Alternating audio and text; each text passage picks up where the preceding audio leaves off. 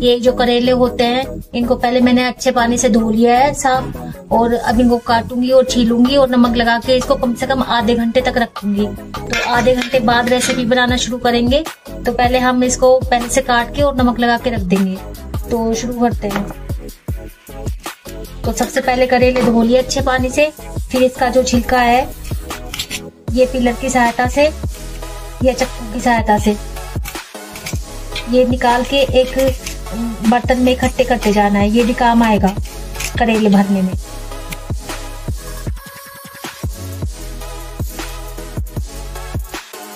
तो ये करेले का छिलका हटा दिया मैंने और दूसरा वाला मैं चक्कू से हटा के दिखाती हूँ पहले मैं भी पिलर का यूज़ नहीं करती थी तो मैं चक्कू से ही हटाती थी।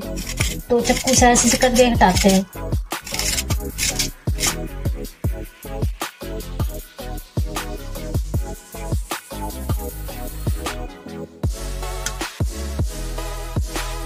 तो अब इनको एक साइड से ऐसे काट लेंगे। और जो इनके अंदर का जो बीज वगैरह होते हैं, वो सब निकाल के हटा देंगे। ये जो इनके बीज होते हैं बहुत ही कड़वे होते हैं तो ये किसी काम के नहीं होते। अब ये करेले के सारे बीज निकाल दिए हैं। अब इस नमक लगा के रखेंगे। थोड़ा थोड़ा नमक लेके इसको पूरा अंदर बाहर से कोट कर देना है।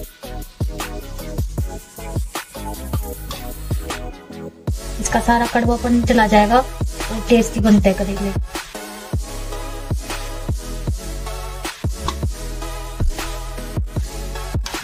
थोड़ा सा नमक इसके छिलके में भी डाल के रख देंगे, ताकि इसका कड़वापन भी निकल जाए। अब इसको हम आधे पौने घंटे बाद चेक करेंगे। फ्रेंड्स ये मैंने करेले में नमक लगा के रखा था, इसको आधा पौना घंटा हो गया है। अब इसका मसाला बनाना शुरू करेंगे।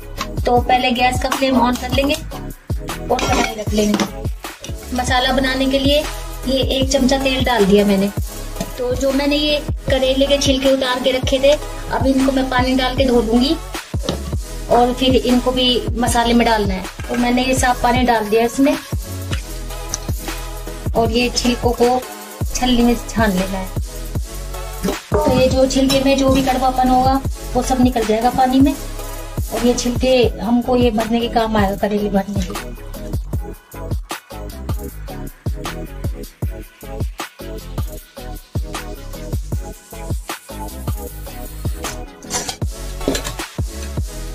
जो भी पानी ये एक्स्ट्रा है वो दबा के ऐसे निकाल दो। अगर इसमें पानी रहेगा तो कड़वापन रहेगा।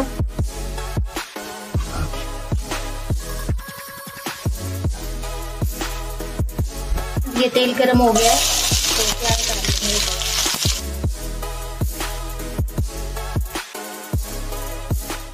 एक चम्मच और थोड़ा सा आधी चम्मच से भी थोड़ा कम नमक डाल दिया मैंने। इससे तड़का जबकि फ्राई हो जाएगा। जल्दी गोल्डन कलर का हो जाएगा।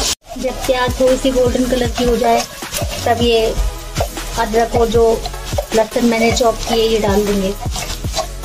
अगर किसी को नहीं पसंद हो तो अवॉइड कर सकते हैं। पर ये डालने से काफ़ी अच्छा टेस्ट होता है। करेले के जो छिलके हैं, ये भी अभी डाल देंगे तो ये अच्छे से फ्राई हो जाएँगे तड़के के साथ, और इनका सारा कड़वापन निकल जाएगा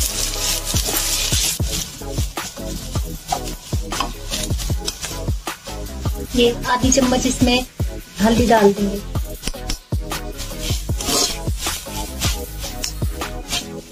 एक चम्मच भर के गरम मसाला और आधी चम्मच कश्मीरी लाल मिर्च। ये मसाला बन के तैयार है हमारा। अब गैस का फ्लेम बंद करके इसको थोड़ी देर ठंडा करेंगे, फिर करेले में भरना है। अब जो ये करेले मैंने काटते थे और नमक लगा के रखा था तो इनको देख लेते हैं। वैसे देखो कितना सारा पानी छोड़ दिया करेलों ने। नमक लगाया इसलिए, कड़वा पानी है पूरा। अब ये साफ़ पानी में से करेले को धो धो के एक साइड रखना है।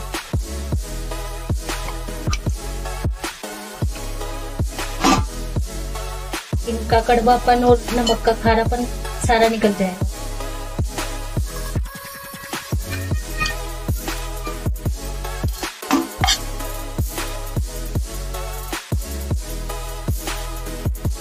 में मसाला भर भर के रखते जाएँगे।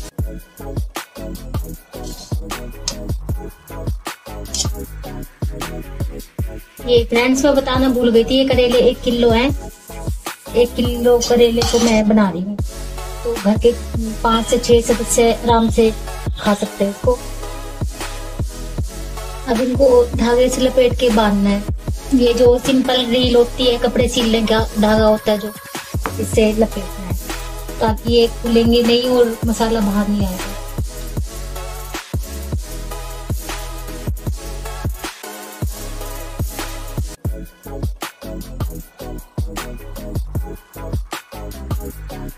ये थोड़ा सा टूट गया था, बीज निकालते टाइम क्योंकि इससे बीज चिपका हुआ था बहुत ज़्यादा तो थोड़ा सा टूट गया था। तो ये भी धागे से अच्छी तरह बांधने से ठीक रहेगा।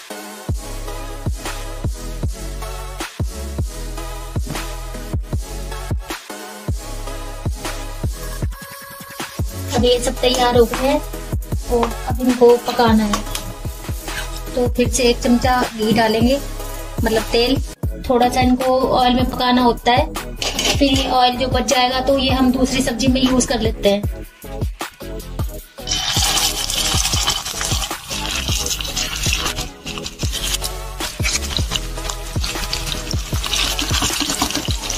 गैस का फ्लेम थोड़ा कम कर देंगे और इनको थोड़ा सा पकने देंगे।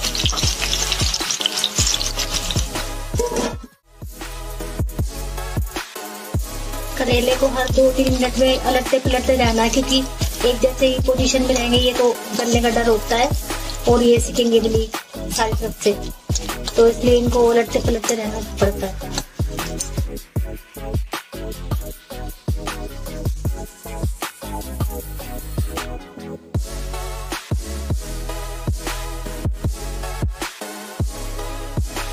इसको कांटे की मदद से देख लो ऐसे।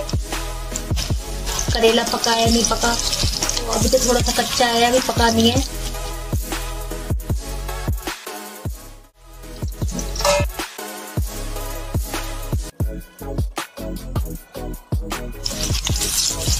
अब करेले हमारे गल गए हैं तो अब इनको आराम से हम फ्राई कर सकते हैं। इनको आराम से हम करारे कर सकते हैं। तो अब कोई टेंशन नहीं है। जब तक करेले का ये जो छिलका होता है गलता नहीं है। तब तक गैस को कम रख के और इसको आराम से गलाना होता है, ढक के। तो तेज हम इसलिए गैस नहीं कर सकते कि जल जाएगा फिर। तो हम मीडियम कर लेंगे अब गैस को और इनको अच्छे से सेक लेंगे।